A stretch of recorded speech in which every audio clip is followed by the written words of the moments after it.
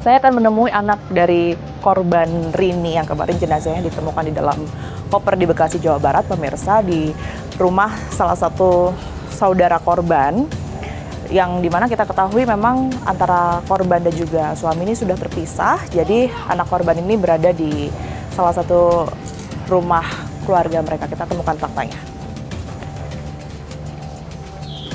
Ya, sekarang saya sudah berada bersama dengan Alia. Alia ini adalah anak dari korban Rini, wanita berusia 49 tahun yang beberapa waktu lalu ditemukan meninggal dunia di dalam koper terletak di Cikarang Barat, Bekasi, Jawa Barat.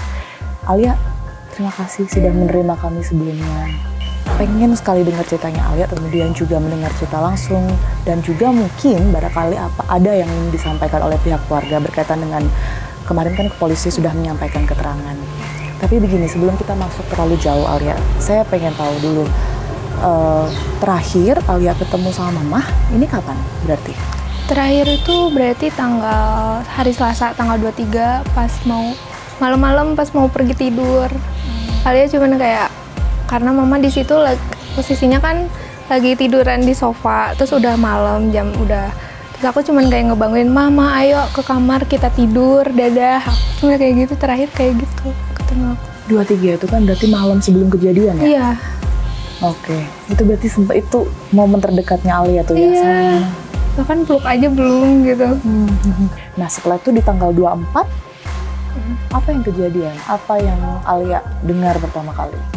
Tanggal 24 tuh mama jam 6 pagi uh hmm. -huh. pergi kerja. Info yang aku terima, uh hmm. -huh jam setengah sepuluh itu uh, mama mau pamit mau store ke bank karena emang kerjaan mama setiap hari store ke bank uang-uang dari storan uh, setelah store ke bank mama tuh mau izin ke rumah sakit uh, cuma setelah itu uh, dari situ mama nggak ada kabar wa-nya nggak aktif harusnya uh, setelah dari store ke bank dan setelah dari ke RS mama tuh balik lagi ke kantor biasanya untuk nerima setoran lagi. Tapi di situ ditungguin pun nggak ada. WA-nya pun kata atasannya nggak aktif. Nah untuk uh, aku dan adik aku tahu mama nggak ada tuh di jam setengah enam sore harusnya mama jemput adik aku. Nah aku coba WA mama akhirnya ternyata benar checklist satu. Ya udah kita tunggu aja sampai jam 10 biasanya kan mama paling lama tuh uh, pulang jam 10 nyampe rumah pas kita udah tunggu terus, pas udah jam 10, jam 10 lewat, ini kenapa? Biasanya nggak kayak gini. Biasanya mama kalau ada apa-apa tuh selalu ngabarin kita, mau mama mau mama hari itu tidur di rumah sakit pasti ngabarin atau nggak pulang dulu ngabarin. Di situ juga sebelumnya kita udah nyobain uh, hubungi teman kantornya, atasan kantornya.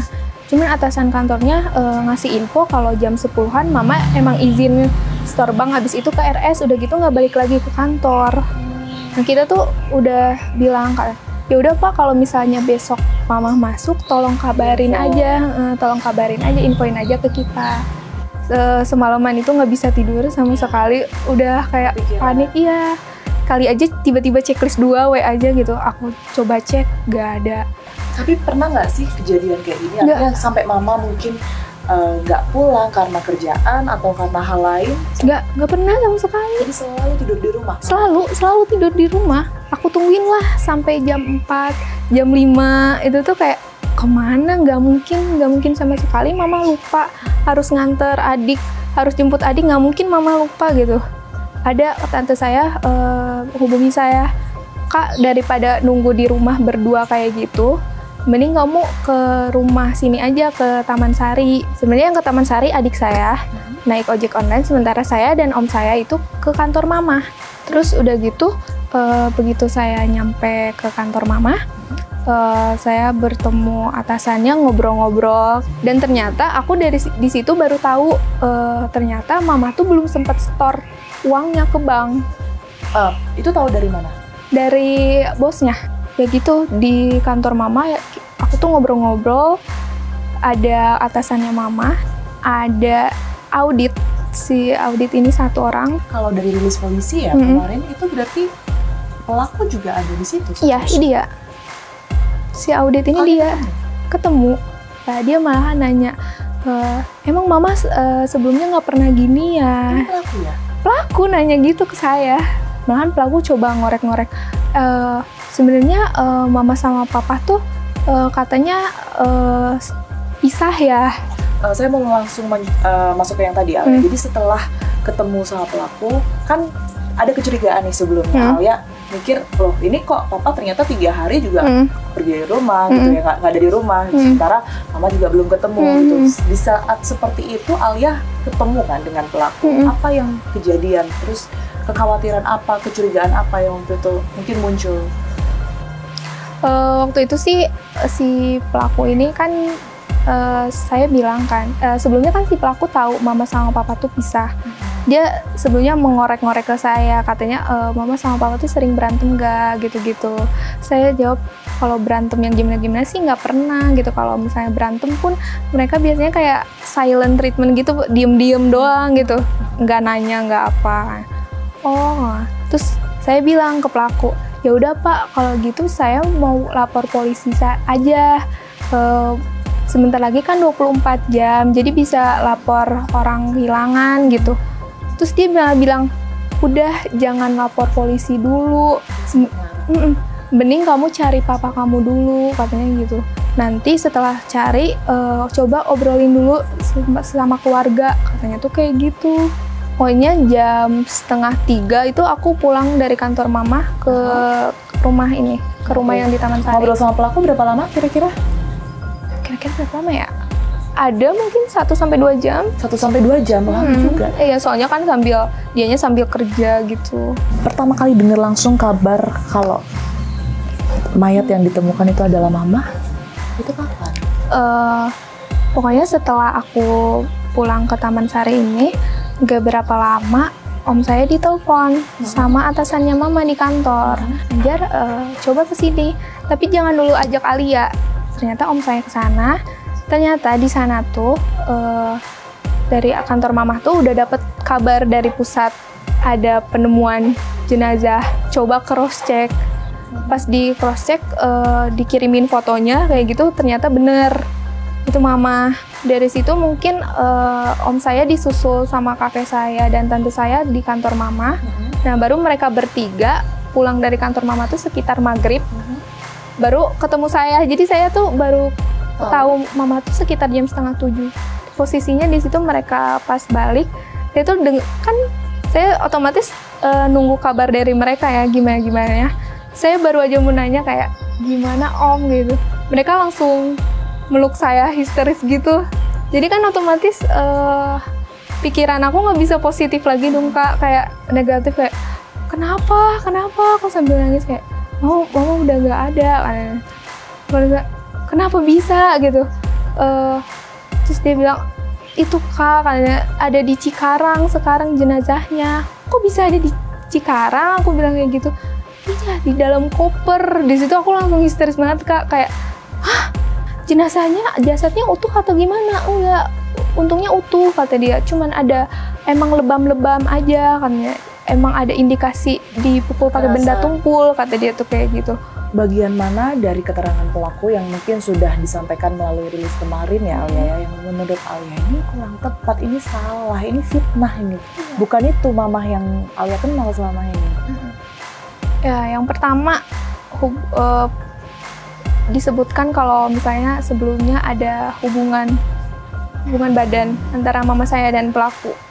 Ya ampun kayak uh, mikir aja gitu mama saya tuh nggak mungkin kayak gitu. Mama saya tuh udah apa terus katanya meminta pertanggungjawaban ke pelaku uh, untuk dininaki ya uh, surat cerai aja belum turun. Gimana mama saya mau uh, apa mau mulai hubungan kembali gitu. Aku yakin soalnya emang bener-bener mama ke mana-mana tuh bareng aku. Kalau mama kalau antar ke sini kak. Iya mah aku antar gitu. Kapan Alia tahu kalau dialah pelakunya?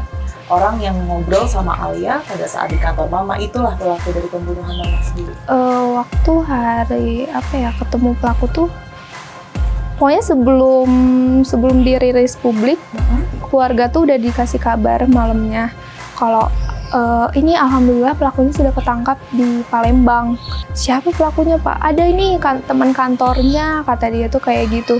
Nah pas paginya uh, tante saya tuh coba ada yang video call dari salah satu polisi kayak, ini mau lihat nggak pelakunya nih? Kata dia tuh kayak gitu. Akhirnya diliatin ada pelakunya gitu, nih pelakunya kan namanya namanya Arif gitu. Nah, gila, kok ada orang se psikopat itu gitu? Kayak seolah-olah tidak terjadi apa-apa tapi masih kayak masih bisa berpura-pura di depan saya nanyain mama gitu. Dan setenang itu ya dan dan ya? setenang ya? itu gitu. Saya nggak ada curiga sama sekali. Emang mukanya juga setenang itu kayak Seandainya biasa. waktu itu bisa komunikasi langsung berada berhadapan langsung sama pelaku gitu di depan Alia. Persis apa yang mau Alia sampaikan ke pelaku saya sih mau menyampaikan kayak apa sih sebenarnya motif dia tuh? Kenapa mama saya salah apa sama dia? Sampai dia tuh seperti itu gitu. Dia bilang katanya motifnya tersinggung sama mama saya karena mama saya minta tanggung jawab tapi kan di situ dia ngambil uangnya juga. Mm-hmm. Kalau dia tersinggung sama mama saya, dia nggak akan ambil uangnya. Ini dia ambil uangnya yang 43 juta itu yang saya terima infonya, dia udah sempet pakai buat bayar vendor nikahnya. Dia bilang e, tersinggung gara-gara punya hubungan lah sama mama atau apa. Mungkin untuk meringankan hukumannya dia aja. Sekarang buktinya kan dia cuma 15 tahun penjara, 15 atau 20 tahun penjara gitu. Kan nggak masuk akal aja gitu kan semuanya aku bener-bener lihat Alia di wawancara ini ya berusaha untuk menguatkan diri banget sekalipun tadi Alia sudah sempat bilang kalau bener-bener dunia rasanya hancur banget beda sekali sama pada saat ada mama hmm. tapi sekalipun Alia juga sempat nangis tadi boleh hmm. dong apa yang ingin dicurahkan sekarang Alia curahkan aja apa yang menguatkan Alia sekarang sebenarnya yang nguatin aku sih pertama ada adik aku kak. Adik aku kan masih masih di bawah umur masih sekolah juga. Kalau misalnya aku aku sendiri dia nanti, nanti siapa yang nguatin dia gitu. Aku aku nggak mau aja aku nggak mau aja adik aku jadi gimana gitu ngerasanya gimana kalau ada mama. Tapi kan sebenarnya masih ada aku aku yang yang itu yang bisa nerusin mama mungkin. Tanggung jawabnya jadi berbeda iya tanggung jawabnya iya. Kalau misalnya aku lemah juga nanti siapa kak yang bisa nguatin gitu? Oh ya makasih banyak. Ayah. sudah mau cerita sama saya. Ya, saya kasih sekali lagi atas nama tim juga. Ya ikut berduka cita yang mendalam atas apa yang kejadian. Semoga kita harapkan ya, ya. keadilan untuk Alia, ya, untuk Mama banyak. terutama segera bisa didapatkan dan juga untuk pelaku tentunya. Ya, apa yang sudah dilakukan bisa setimpal. Kalau hmm. tadi Alia sempat menyebutkan ya, semoga pelaku ini menurut Alia lebih pantas dihukum mati. Iya, tuh. Makasih banyak. Iya, makasih selalu juga. Alia dan ya. keluarga. Kita temukan fakta selanjutnya. Nah, kalau ilustrasi situasinya seperti ini, maka sekali lagi ini bukan pembunuhan ini bukan pembunuhan berencana. Ini